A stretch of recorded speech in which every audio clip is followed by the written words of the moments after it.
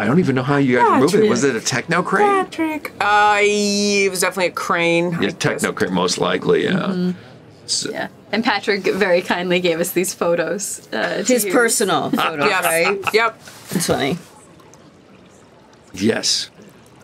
This is. because Patrick really is that guy who does the triathlete. Yeah, this is overlap in the the Uh, Patrick. those photos are probably diagram. from t- a two-hour slice of one of Patrick's mornings.